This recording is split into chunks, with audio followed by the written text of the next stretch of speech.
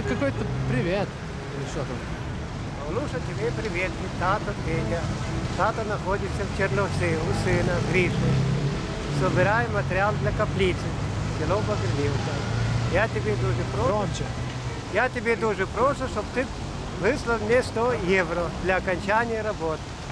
Ти знаєш, що у нас случилось пожар. Я тобі дуже прошу. От і все. Привіт, від тата.